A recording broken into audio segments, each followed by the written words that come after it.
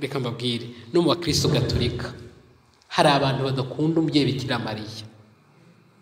No mu bakristo gatolika hari abantu badakunda umubyeyi bikira mariya. Akavuga ati yewe rwose bikira mariya nubwo bamuvuga nanjye ntabwo mbyumva neza nanjye ntabwo mbyumva neza. N'ikimenyimenyi umunsi nk'uyu bakaranga bati tuzishimira ko umubyeyi bikira mariya dusuye mu rwanda. Ntibigire icyo bibabwira. Ariko uyu munsi twakwishimira ko umwe mu bagaragu ba kiliziya yabaye karidinari ni byiza cyane tugomba kubyishimira. Ndetse ukabona abakirisitu bahagurutse bati ehe natwe mu rwanda ni igitangaza imana yakoze ibikomeye. Kubera ko umugaragu umwe mu bagaragu yabaye karidinari ariko bavuga ko umubyeyi bikira mariya asuye u rwanda apo ibyo se umugore ibyo se kirisitu yeza akuzwe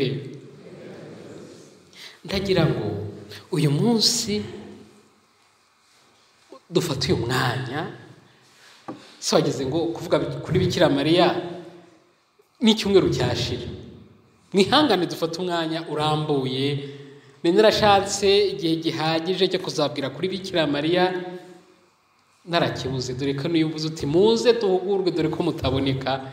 Uyu munsi ubwo mwe mwaje wenda muzarushaho no kumfasha kiliziya kwamamaza umubyeyi mariya uwo ari we. Ndagira ngo uyu munsi niba nawe utabyumvaga neza uri mu bavuga ngo reka mfe kujyayo. Uyu munsi usohoke hano nawe uvuga uti ndahamya akamaro agaciro k'umubyeyi bikira mariya. Uyu munsi uve hano uri fiyeri uri purawudi uri wumva ko kuvuga ishapure yawe bigufitiye akamaro. Kwambara ishapure yawe. Kuvuga umubyeyi bikira mariya nta kimwaro kirimo.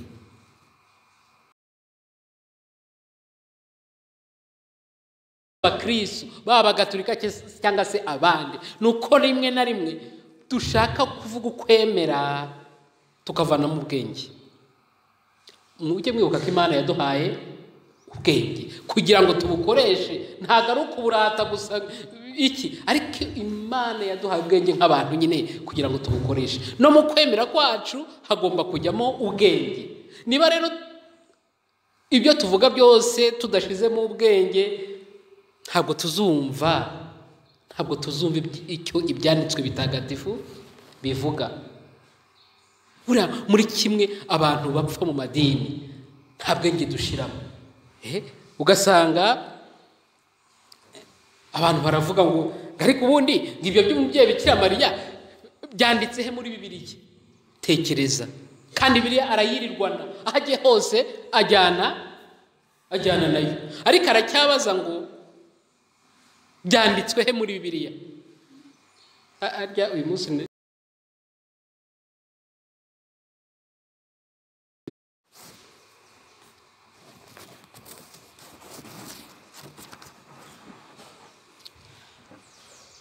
yeza akozwe uyu munsi. Ndagira ngo tuganire cyane twige cyane kuri bikira mariya kubera ko si kenshi dukunda kugira amahirwe yo kubona umwanya uhagije n'amasomo wenda amugarukaho. Ariko uyu munsi lituruje y'uyu munsi ituganisha kuri bikira mariya. Kubera iki? Kubera ko muzi ko kuri iyi tariki ya makumyabiri n'umunani z'ukwa cumi na kumwe ni ho bikira mariya yadusuye mu rwanda. Maze rero ntaki sinzi icyo twabigereranya na cyo kubona bikira mariya yaradusuye mu rwanda. Kubona bikira mariya yaradutekerejeho nk'abanyarwanda. Rero uyu munsi reka dufashwe n'aya masomo cyane. Nzirikana ko wenda kuri mwewe ubwo mwabizirikanye aho nagiye uyu munsi niziye n'amaguru aho nagiye nyura bajya bavuga bati padiri se kandi agiye hehe uyu munsi? Kubera ko batakibuka ko n'uyu munsi. Ni ukuvuga mu mateka ntabwo abakirisitu biratujyamo ko uyu munsi w'iyi tariki udasanzwe. Ntabwo usanzwe koko. Mweho rero mwabizirikanye nyagasana akomeze kubamera umugisha. Kandi umubyeyi bikira mariya akomeze abakirwe. Uyu munsi rero nk'uko mwabyumvise n'abahitiyemo inyigisho ivuga ngo bikira mariya tumwigireho kuba abanyampuhwe nk'uko ibyanditswe bitagatifu ndetse n'amabonekerwa abitwereka. Bikira mariya tumwigireho kuba abanyampuhwe nk'uko ibyanditswe bitagatifu ndetse n'amabonekerwa amutwereka kuba abanyampuhwe. Ariko mbere y'uko ngira icyo mvuga kuri iyi nsanganyamatsiko mbere yo mbabwira impamvu nahisemo manze mbabwire burya hari abantu bumva ko uyu munsi umunsi nk'uyu nguyu twibukaho umubyeyi bikira mariya cyangwa se asomusiyo n'indi minsi hari igihe abantu batabiha agaciro ndetse bakanaduseka. Nta bareje bari hanura banderuhane bakanaduseka cyane ngo dore ba bandi basenga umugore ngo dore n'ibindi bongeraho. Ndetse hafi yo kuba banasesemwa kubera ko bamenye ko uri umurejo cyangwa se kubera ko bamenye ko ukunda umubyeyi bikira mariya. Bakaba banasesemwa. Kirisitu yeza akuzwe nkaho ari wowe uri mu buyobe. Ndetse reka mbabwire no mu bakirisitu gatolika hari abantu badakunda umubyeyi bikira mariya. No mu bakirisitu gatolika hari abantu badakunda umubyeyi bikira mariya. Akavuga ati yewe rwose bikira mariya nubwo bamuvuga nanjye ntabwo mbyumva neza nanjye ntabwo mbyumva neza. N'ikimenyimenyi umunsi nk'uyu bakaranga bati tuzishimira ko umubyeyi bikira mariya dusuye mu rwanda. Ntibigire icyo bibabwira.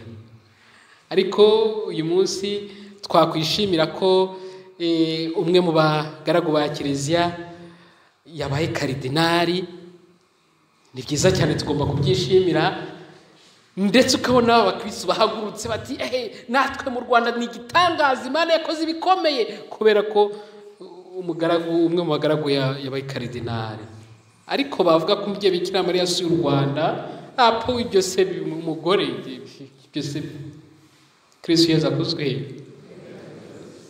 ndagira ngo uyu munsi dufate uyu mwanya si wageze ngo kuvuga kuri bikira mariya n'icyumweru cyashira mwihangane dufate umwanya urambuye ni narashatse igihe gihagije cyo kuzabwira kuri bikira mariya narakibuze dore ko niyo uvuze uti muze duhugurwe dore ko mutaboneka. Uyu munsi ubwo mwe mwaje wenda muzarushaho no kumfasha kiliziya kwamamaza umubyeyi bikira mariya uwo ari we. Ndagira ngo uyu munsi niba nawe utabyumvaga neza uri mu bavuga ngo reka mfe kujyayo. Uyu munsi usohoke hano nawe uvuga uti ndahamya. Akamaro agaciro k'umubyeyi k'umubyeyi bikira mariya. Uyu munsi uve hano uri fiyeri uri purawudi uri wumva ko kuvuga ishapure yawe bigufitiye akamaro. Kwambara ishapure yawe kuvuga umubyeyi bikira mariya nta kimwaro kirimo. Iyo turirimba ngo mariya batagukunda bazanyura inzira ndende burya tuba turi mu kuri. Maze rero bavandimwe reka mbabwire kimwe mu kitwishe mu kishe abakirisitu baba abagatulika cyangwa se abandi ni uko rimwe na rimwe dushaka kuvuga ukwemera tukavana mu bwenge. Mujye mwibuka ko imana yaduhaye ubwenge. Kugira ngo tubukoreshe ntabwo ari ukuburata gusa iki? Ariko imana yaduhaye ubwenge nk'abantu nyine kugira ngo tubukoreshe. No mu kwemera kwacu hagomba kujyamo ubwenge. Niba rero ibyo tuvuga byose tudashizemo ubwenge ntabwo tuzumva ntabwo tuzumva icyo ibyanditswe bitagatifu bivuga. Buriya muri kimwe abantu bapfa mu madini nta bwenge dushiramo. Eh, ugasanga abantu baravuga ngo ariko ubundi ngo ibyo by'umubyeyi bikira mariya byanditse he muri bibiliya? Tekereza. Kandi biriya arayirirwana. Aho agiye hose ajyana ajyana na yo. Ariko aracyabaza ngo byanditswe he muri bibiliya? A- arya uyu munsi sinzi niba nababwiye amasomo yatuyoboye uyu munsi iyo uhereye ku isomo rya mbere twazirikanye umunsi. Tugira amahirwe ku munsi burya dufata hafi amasomo atatu ni menshi ariko ni, ni bi- bi- bi- bibiliya ivuga cyane ku mubyeyi bikira mariya. Sinzi impamvu abirirwa n'izo bibiliya batabibona. Ariko aho muritonde nitugera ku mabonekerwa turi buze kubona impamvu.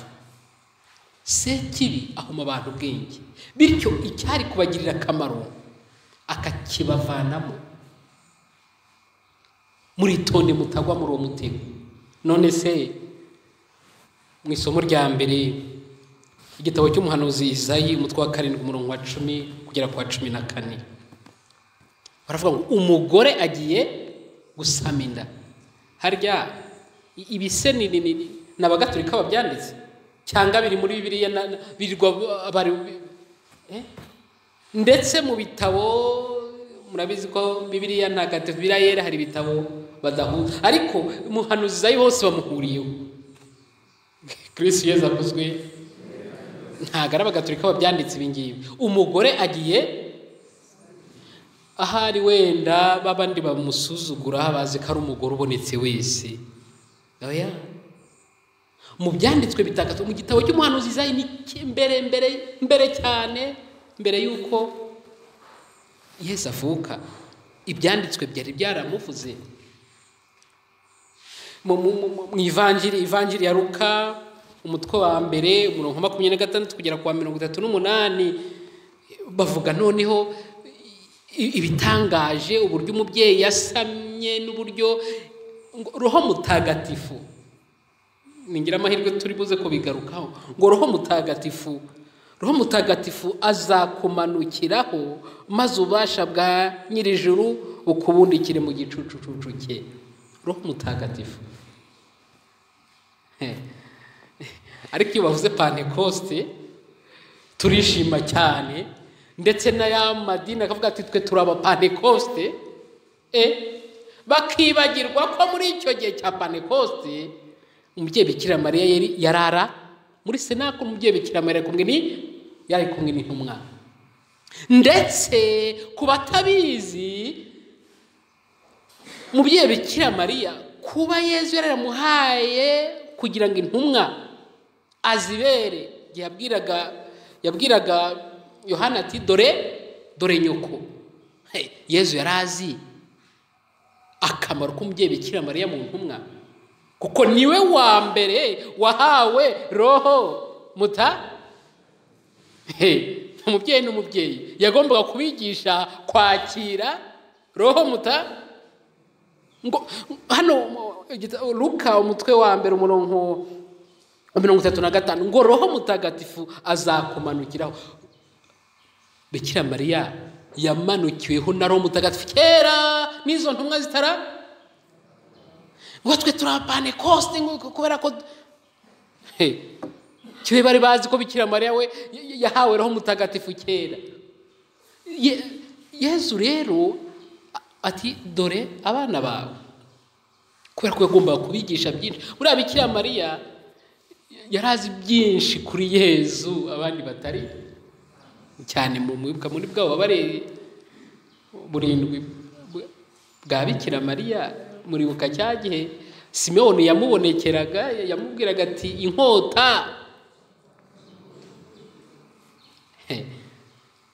Nuko rero mu gihe bari bategereje panekosite bari bari kumwe n'umubyeyi bikira mariya ntigeze ibyamubayeho byose ntibyamuhungabanyije. Bagakomera bavuga bati e turi kumwe n'umubyeyi? Turi kumwe n'umubyeyi. Bavandimwe mubabajwe n'iki? Mutewe ubwoba n'iki? Ko muri kumwe n'umubyeyi? Natwe muri iyi saha dutegereje. Mwibuke ko turi kumwe n'umu turi kumwe n'umubyeyi. Abo bose bamubangisha abo bose bagira gute? Mwibuke ko mwaramuhawe. Impano yacu ishimwe buriya rero isomo rya kabiri hari ikintu ryatubwiye gikomeye. Mu baruwa paul mutagatifu yandikiye abanyagarati umutwe wa kane umurongo wa gatatu kugera ku wa karindwi. Paul aravuga ati natwe igihe twari tukiri bato. Amen. Natwe igihe twari tukiri bato kamasubiremo ni umutwe wa kane umurongo wa gatatu kugera ku wa karindwi ngo natwe ni uko twari turi igihe twari tukiri bato twategekwaga n'ibigenga isi. Paul ntabwo avuga ubwana bwe. Kuba muto avuga ntabwo ari ubwana bwe.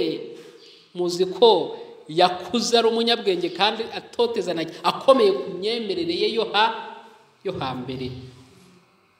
Ubu utavuga ni icyo gihe atari yakamenye neza atari yakamenye neza imana. Natwe rero muri iyi minsi hari abantu batwangisha bikira mariya kubera ko bakiri bato mu kwemera.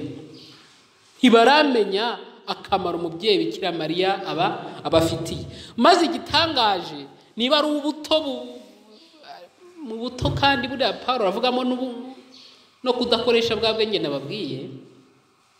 Kuko iyo tutabukoreshe tugomba gusigara mu bujiji mu bwana ubwenge bwa cyana.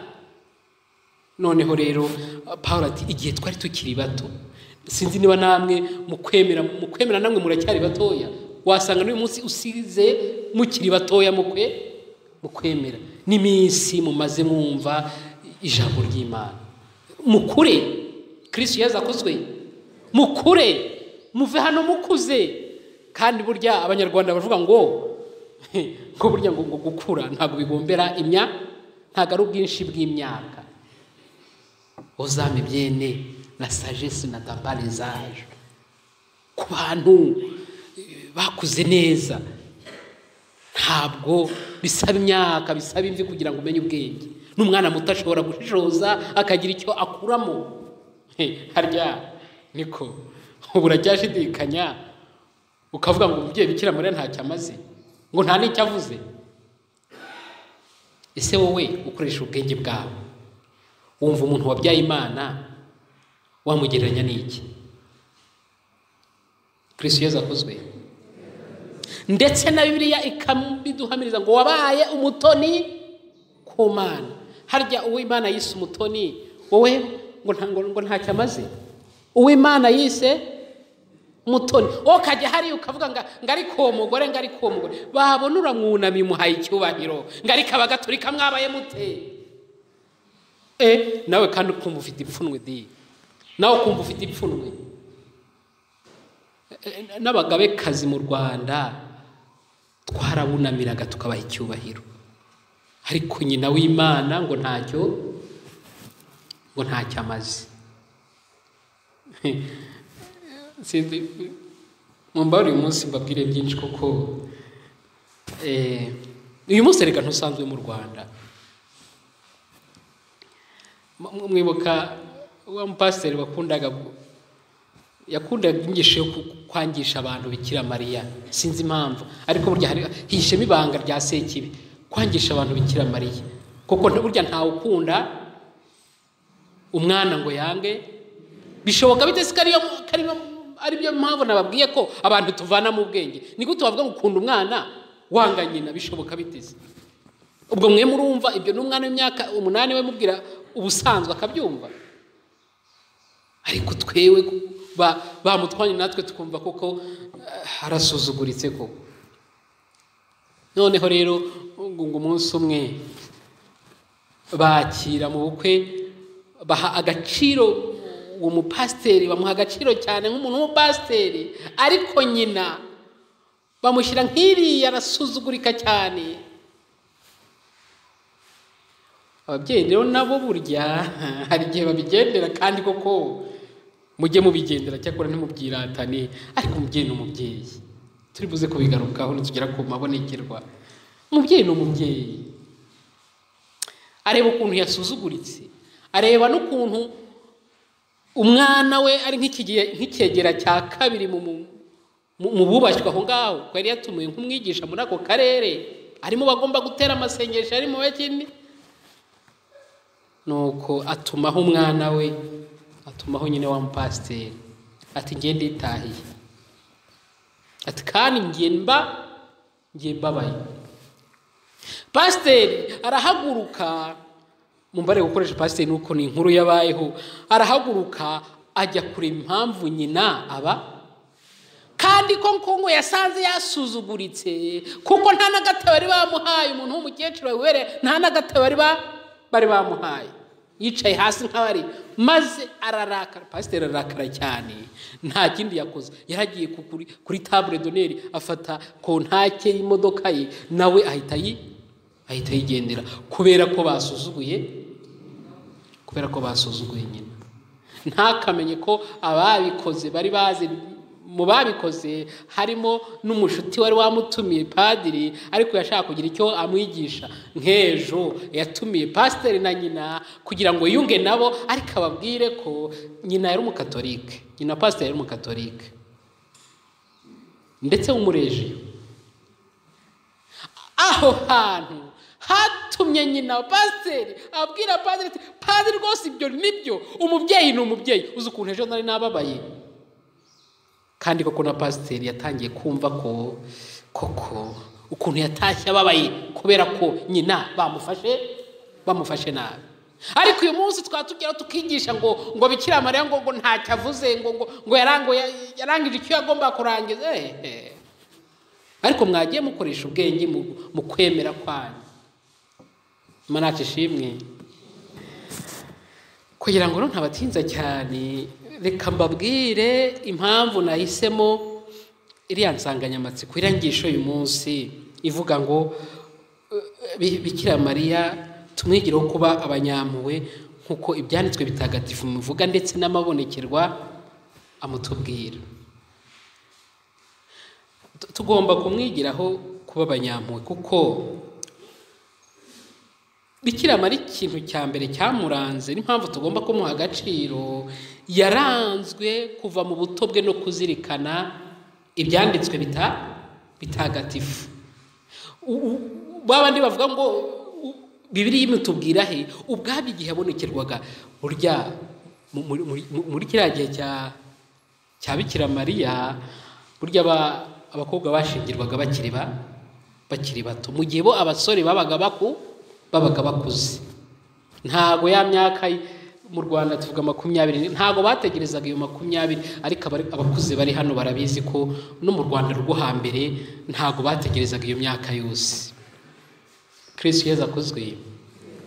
Igihe rero bikira mariya abonekewe ntabwo yari ntabwo yarakuze cyane yari akiri mutoya.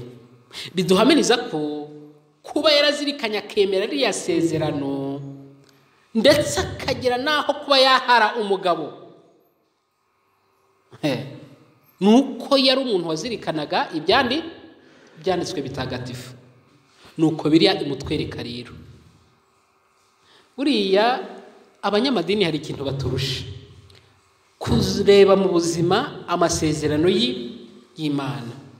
Cyakora sinzi impamvu batamubonamo umunyamase umunyamasezerano kandi burya isezerano rishobora kubura kubera uko witwaye. Bikira mariya rero kubera ko yubashye imana byatumye isezerano imana yari ifite ku bantu risohora. Bityo aba igikore aba igikoresho cy'imana. Burya natwe tugira amasezerano menshi ariko hari igihe dutuma adasohora kubera ko twanga kuba ibikoresho ibikoresho by'imana. Turi buze kubibona wenda mu kureba kuri aya amabonekerwa. Uretse bibiliya itubwira uko bibiliya yahagaze uko bikira mariya ahagaze gitwari mu butumwa muri ayo masezerano imana yari imuhaye. Ubwabyo kuba imwita umutoni kandi komera avuga ati bizashoboka bite? Buriya ni ubwoba yari afite. Bizashoboka bite? Ariko komera zirikana isezerano ry'imana. Humura mutagatifu aza kumanukiraho. ni kangahe se nyagasani avuga ati mu bikomeye muhumure muri kumwe n'imana ariko rikada bikaba ubusa. Bikira mariya we rero yarabyo yarabyumvise. Erega uriya uretse aya masomo twazirikanye ariko muri biriya tubonamo amasomo menshi. Ushobora no gufata igitabo cy'ibyakozwe n'intumwa umutwe wa cumi na kabiri umuntu wa cumi na kane niyo handi nababwiraga ko igihe intumwa zari zitegereje roho mutagatifu bikira mariya ari kumwe nabo. Kandi we yabarushaga byinshi mu kwakira. Roho mutagatifu ko yari yaramuhawe. Wenda nkabasomere ho nihuta. Imirongo ivuga kuri bikira mariya ni myinshi sinzi impamvu tutayiha agaciro. Ni acte des igitabo cy'ibyakozwe intumwa rimwe cumi na kabiri kugera kuri cumi na kane. Ngo bava ku musozi witwa uw'imizeti bagaruka i yeruzalemu. Uwo musozi ukaba bugufi ya yeruzalemu nk'urugendo bemerewe gukora ku isabato. Bahageze bazamuka mu cyumba cyo hejuru aho babaga muri senago mu cyumba cyo hejuru. Abo ni petero bakavuga za ntumwa zose bose barangwaga n'umutima umwe bagashishikarira gusenga. Bari kumwe n'abagore bamwe barimo mariya nyina wa yezu n'abavandimwe. Bavugarutse kuri mariya nyina nyina wa yezu. Igihe bari bategereje kwakira roho muta buriya agiye abakomeza nk'umubyeyi wari umaze kunyura muri bwa buba muzarebe muri buriya bubare ntabwo ugeze buhungabanya ukwemera kwa none uyu munsi ufite ikigeragezo kimwe. Nicyo kiragushenguye ariko utangiye guta ukwemera. Rebera ku mubyeyi bikira bikira mariya. Ashobora kuba ari urugo. Ashobora kuba ari umwashakanye ashobora kuba ari uwo muturanyi. Ashobora kuba ari ibindi bibazo uburwayi iki uyu munsi utata ukwemera kwa? Kuko uri kumwe n'umubyeyi bikira bikira mariya. Imana yacu ishimwe. Twabona henshi. No mu yohani umutwe wa cumi n'icyenda aho noneho tumuhabwaho yezu agiye gupfa avuga ati dore nyoko. Imana yacu ishimwe ariko uyu munsi ukava hano wumva umubyeyi bikira mariya ntacyo akumariye. Kandi yezu ubwo abyivugira ku musaraba muzatinye. Umubyeyi uraga. Ariya magambo umubyeyi aragira mu rupfu rwe mu minsi ya nyuma. Ayo magambo mujye muyubaha. Yezu rero hakomeye. Yezu twamuherewe aha ko bareje muri aha ngo yezu twamuherewe aha ahakomeye birambabaza amasomo nk'aya akomeye iyo twayazirikanye wenda hari abakristo bakeya ariko ikinshimisha ni uko ari bo baba babikunze. Ntabwo n'ubundi imana ihata abantu. Ntabwo imana ihata abantu. Cyakora wenda abagira impamvu ubu nabafunguriye abagira amahirwe wenda bakabona amayinite bakabona intuza bashobora gufungura ku rubuga rwa yutube ubuzima muri yezu kirisitu cano yitwa ubuzima muri yezu kirisitu bakabonaho izi nyigisho ariko ikinshimisha ni uko nsigaye mbonaho inyigisho nyinshi ku buryo uwashaka kuzirikana atahomba ngo narase inyigisho kuko afite ubundi buryo yayibonamo. Niba abifite ku mutima. Ariko ntaho bihuriye burya no kuba twabisangiye. Ibyo ku makoranabuhanga ni amakoranabuhanga. Ariko hano turi mu ngoro tubizirikanaho imana ibishimirirwe rero kuvuga ku mpuhwe z'umubyeyi bikira mariya birigaragaza cyane. Reka mbabwire impamvu rero nahisemo inyigisho. Bikira mariya tumwingireho kuba abanyampuhwe nk'uko ibyanditswe bitagatifu bibidusaba ndetse n'amabonekerwa akaba ariko abitwereka. Ariko muzi ko kirisitu yezu akozwe aho sindabarambira cyane eh? kirisitu yezu akozwe buriya muzi ko mu mabonekerwa hari ibintu ushobora gutangarira ku mubyeyi bikira mariya buri gihe abonekera abantu arira cyangwa se a aseka ni ibintu bibiri bi- bibusanye. Arira cyangwa se aseka.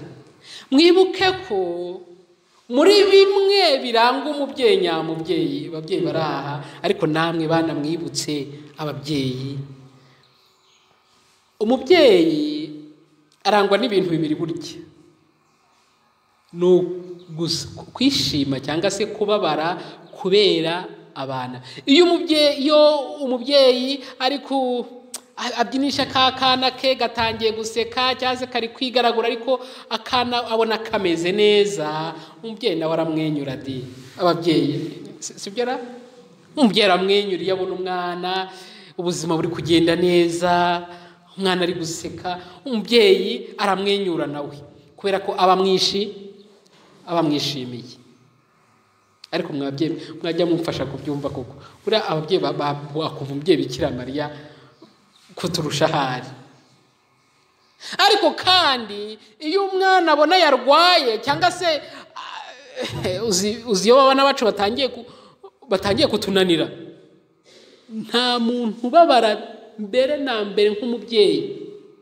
Kubera ko babona ko umwana ubuzima bwe ari kubushyira mu cyangwa se ubuzima bwe buragirijwe cyangwa se yaba abyiteye cyangwa se atabyiteye ariko umwana iyo ameze nabi umubyeyi arashinguka akarira. Murebere impamvu umubyeyi bikira mariya arangwa n'ibyo bintu sinzi niba mwari mwarigeze mubitekerezaho.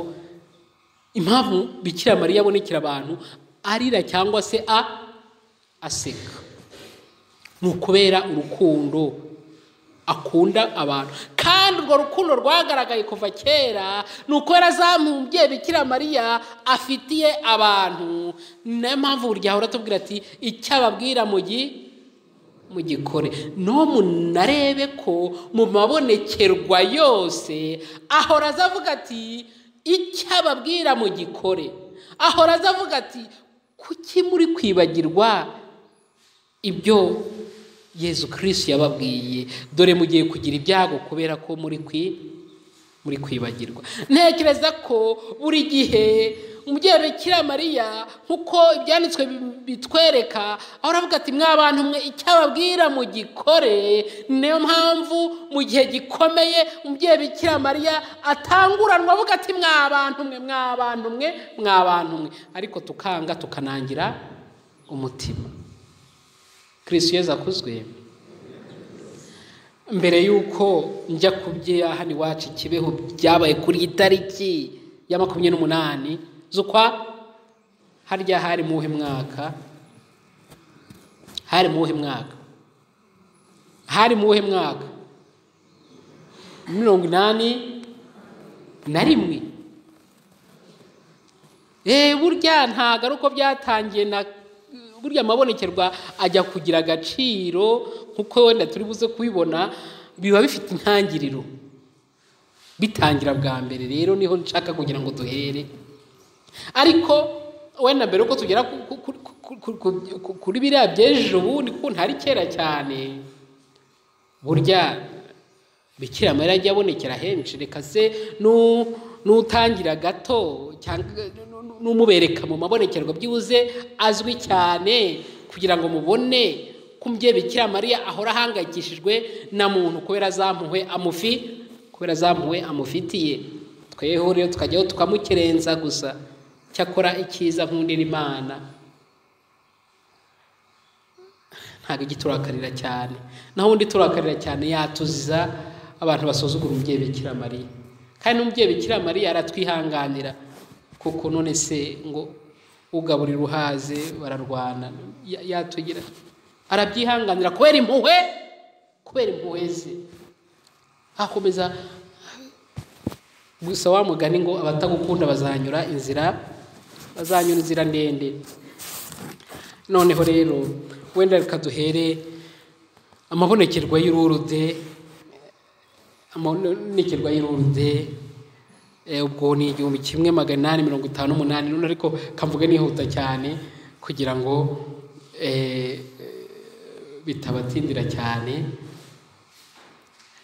amabonekerwa y'irurude irurude ni mu bufaransa igihumbi kimwe magana inani mirongo itanu n'umunani Eh, muri kumva abageze mu mashuri muribuka icyo kinyejana cya cumi n'umunani cyari igihe gikomeye icyo bita de lumière kuvuga ni ho tekinoloji naho itangiriye uretse na tekinoloji n'abantu naho bagize imbaraga mu kwiratana ubwenge. Icyo bitaga za filozofi naho zitangiriye. Abantu batangiye kwiratana ubwenge ubwenge bwabo. Eh, inganda zitangiye kuvuka. Abantu batangiye kwigira mu ifaranga gushaka ifaranga kugira gute kwibera muri izo nganda. Aho ni ho umubyeyi bikira mariya yabonekeye umukobwa yitaga berenadita nta nubwo yari umuntu mukuru cyane. Ntangazwa nuko akenshi umubyeyi bikira mariya abonekera abantu baciye bugufi ndetse n'abana urebye eh, kubera ko hari sinzi niba ari uko baba batakangiritse cyane n'iki ariko berenadeta yari afite nk'imyaka igera muri cumi n'ine gutyo. Mu- kintu gihatse ah, ibonekerwa ry'ururude avuga ati penitence penitence penitence. Ni ukuvuga eh, imbabazi z'imana imbabazi z'imana kubera ko abantu bari batangiye koga. Ntabwo ndabitindaho cyane ko buri buri bonekerwa ryose ryavamo inyigisho ndende. Ariko icyo gihe ku mubyeyi bikira mariya yaragobotse avuga ati mwa bantu mwe mwere kohoka mu by'isi gusa mutazabura ubugi ubugingo. Kuki se bikira mariya atanguranwa akavuga ati mwa bantu mwe mwa bantu. Arongera mu ifatima ni muri portugal. Abonekera ubwana butatu bwo n'imyaka icyenda icumi ingahe? Harimo witwaga rusiya harimo francisco ndetse n'umwana witwaga yasenta ababonekera nubwo tuvuga ngo ni igihumbi kimwe magana cyenda cumi na karindwi ariko nyine nk'uko ndi kubabwira byatangiye muri na cumi na gatanu. Igihumbi kimwe magana cyenda cumi na gatanu. Abageze mu mashuri muribuka amateka y'intambara ya mbere y'isi? No mu rwanda yagezemo iyo ntambara. Intambara ya mbere y'isi yose ni muri ibyo bihe. Noneho umubyeyi bikira mariya avuga ati intambara y'isi yose yereka abantu ko ibintu bikomeye ndetse n'ibihugu bikomeye abigarukaho uburusiya abigarukaho. Kuko intambara iza igomba kumena amaraso. Intambara izagira ingaruka nyinshi. Abageze mu mashuri murabizi abantu bapfuye ibintu byangiritse n'iki byose? Ariko ibyo byose umubyeyi bikira mariya akavu- akavuga aka- aka- ndetse ubona ko umubyeyi bikira mariya akoresha n'abo bantu baciye akandi akagira n'uruhare mu gutuma bumvwa bimenyekana. Ariko abantu bakabyumva reka da urugero ntazi ni mu rwanda. Mu rwanda baba benshi mwari bakuru abarangara yacu ishimwe. Aba ba- baba ari abakobwa ba- ba- bo bari bafite imyaka cumi n'itandatu cumi n'irindwi. Benshi murabaza bageze n'ikibeho. Ese ubundi ubu ngubu uyu munsi iyo bitaba ibi bihe turimo wenda twashobora kuba twagiye n'ikibeho ariko aho turi hose mutekereze wenda ku buhamya natali agomba kuduha wenda. Ariko muribuka muri abo bakobwa b'abangavu babonekewe harimo alfonsina mumureke nataliya mukamazimpaka eh, na mariya mukangango aho bose uko bagiye babonekerwa igihatse ubutumwa bw'ikibeho tugomba no kugira uruhare mu kwamamaza ku isi yose. Ariko cyane cyane iwacu yarababwiye ati la sincerite di priere isengesho ritarimo uburya uryarya kirisitu yeza akuzwe isengesho ritarimo uburyarya dufite ikigeragezo hano mu rwanda. Ubukirisitu bwacu ntabwo bwari bwatera intera yo kugera muri kamere. Turacyasengana uburya? Uburyarya. Ngewe mu gihe ntabwo icyo gihe nari mukuru cyane ariko iyo myaka icyo nibukamo yari imyaka myiza. Imyaka ya za mirongo inani na yari imyaka yari imyaka myiza. Niba hari ikintu nibukiraho uburyohe bw'ubuzima wenda hari n'uko nari umwana ariko uko nabonaga n'abantu bakuru ubona abantu bose bagenda baririmba umuhanda wose ijoro bivuga ubona ndi kubeshyira bagenda bivuga ubona bahana inka bahana inka kumva runaka yahaye runaka inka ubukwe bwabaye reka sinakubwira. Ubona ibintu ari uburyohe wa mugani. Ubona ibintu ari uburyohe. Ariko kumbi nubwo bahanaga izo nka nubwo bageraga gute ariko hahishemo uburya buryarya. Ndetse birashoboka ko ariyo mpamvu abantu batahise bumva ubutumwa bw'ikibeho. Kuko wabonaga ibintu ari uburyohe. Kumbi mu mitima y'abantu harimo iki? Ikibazo. Kandi cyaragaragaye koko nyuma. Noneho igihe ababwiraga ati isengesho ry'ukuri ngo aba bana ntabwo mbitindaho na byo kuko murabona iminota itugeranye abana batangajwe cyane no kubona umubyeyi bikira mariya aje noneho ababaye cyane. Noneho ngo abereka n'ibintu bibabaje abereka umuvu w'amaraso ibyobo byinshi abereka abantu abantu badafite imitwe abereka iki byose ati muritonde mwisubireho musenge musenge mwisubireho kuko u rwanda rugiye kurwa mu rwobo. Kubivuga muri kiriya gihe n'ukuntu abantu bari barasinze amahoro. Ariko abantu bashobora gutsinda amahoro yabo ariko batitaye ku bandi. Ngicyo icyadukozeho. Kutita ku karengane mu yandi magambo burya urukundo rwacu mu rwanda cyangwa se n'ahandi umubyeyi bikira mariya ntabwo abonekera mu gihugu kimwe ashaka kubwira igihugu gusa n'ahandi ku isi tugomba kurenga intera yo kwirebaho gusa. Igihe tubonye urukundo ruri kurengana tubonye abantu barengana tujye twihutira gutabara.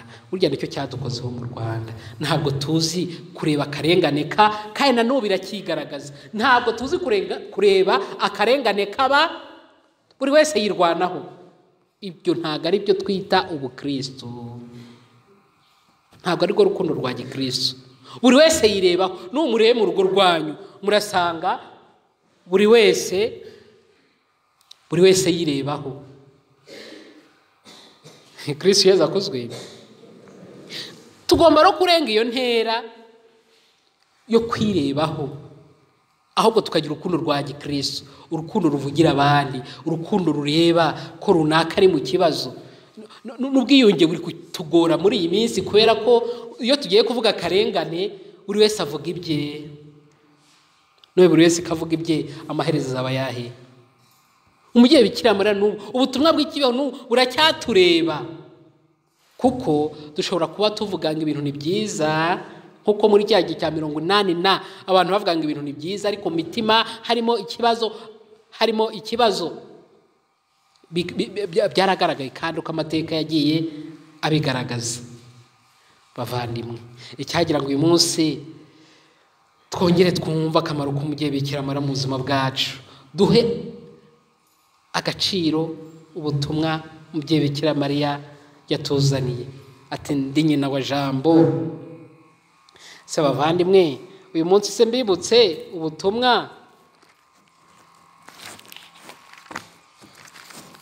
ubutumwa yatuhaye mu magambo make wenda ariho nsoreza mwihangane ari n'ibigera kuri cumi na bibiri. Muri kunyumva neza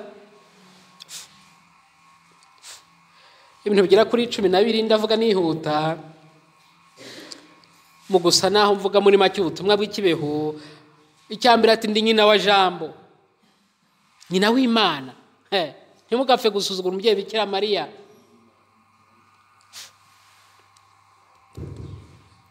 Icya kabiri ati umwana wa mariya ntatana n'imibabaro. Mujye menya ko muri muri iyi si icya gatatu ni mwisubireho bidatinze. Hari abantu he, ibihe tugezemo hari abantu bagitegereza ngo ejo ejo. Ni mwisubireho ubu ngubu icya kane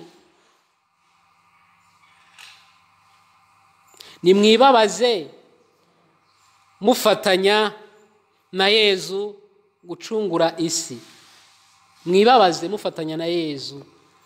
Nta- ntabwo uzaba intumwa ya kirisitu utemeye kuba utemeye kubabara. Erega ariko ninde wabaye umusirikare akumva ko azabaho mu mudendezo gusa? Icya gatanu ni muzirikane y'ububa y'ububabare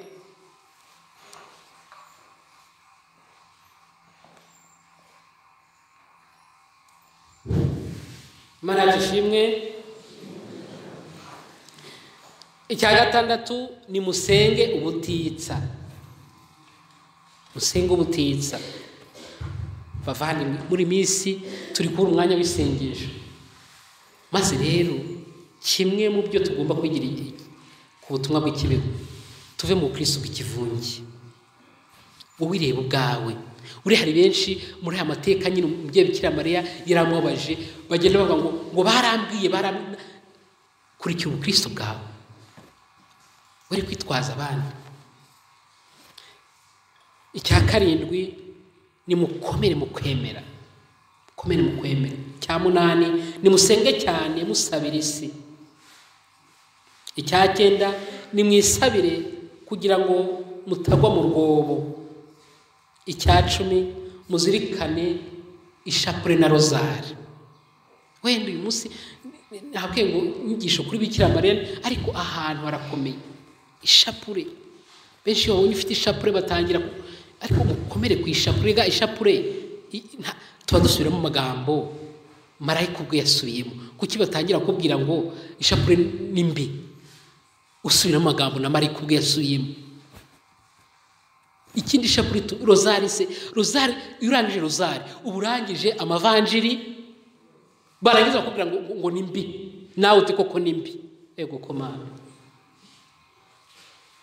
hari umukristo wakunda kugenda avuga ishapure no mu modoka.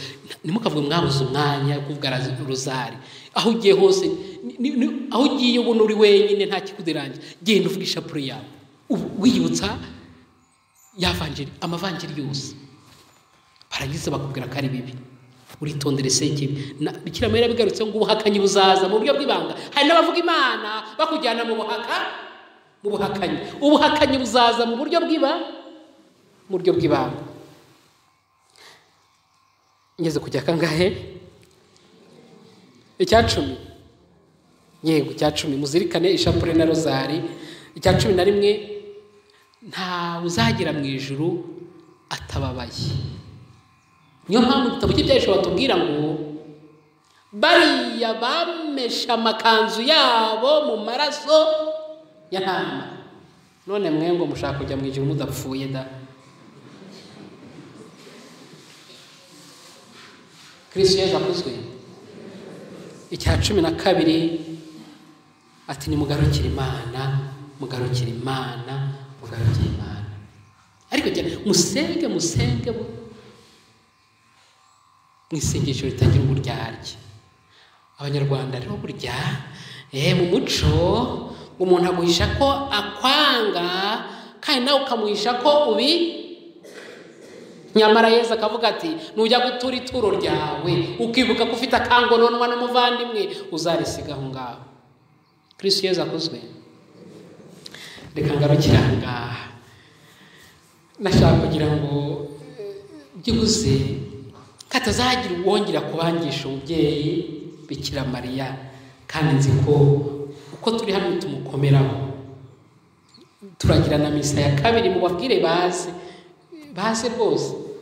Uko turi hano ntituba intumwa ku mubyeyi bikira mariya erega nta kindi dufatanye nawe kubwira abantu ngo icyo yeza ababwira mu gihe?